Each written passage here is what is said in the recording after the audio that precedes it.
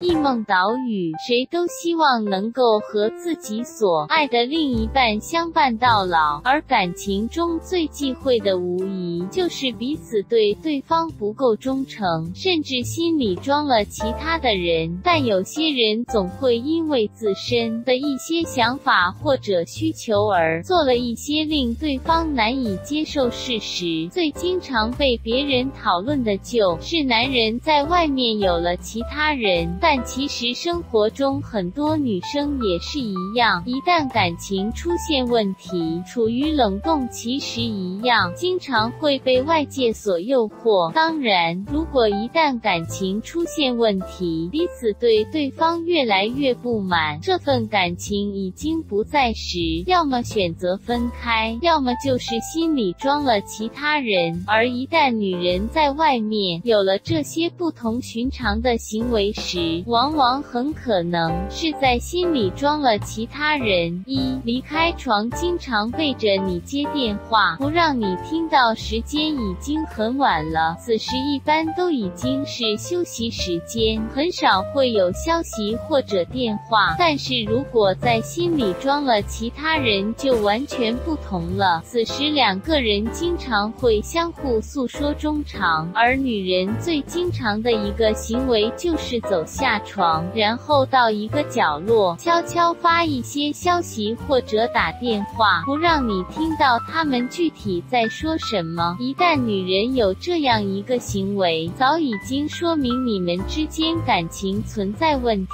而很有可能她已经在心里装了其他人，否则是不可能对你这么防备的。一丝一毫的沟通内容。二和别人聊得非常愉快，经常。一个人傻笑，晚上休息的时候是最让人有情绪的时候。如果这段感情已经出现问题，而心里又觉得特别寂寞，此时和别人聊天是特别容易产生依赖感的。慢慢的，随着时间延长，就会聊出感情来。如果一旦发现女生经常半夜三更，本来是早要睡觉的时间，而此时却经常和别人发个微信、打个电话，而且经常会对着手机傻笑，一聊就是聊到深更半夜。这个行为本身就是反常的。除了情侣、夫妻，谁会在半夜三更不睡觉还聊天呢？而当你产生好奇，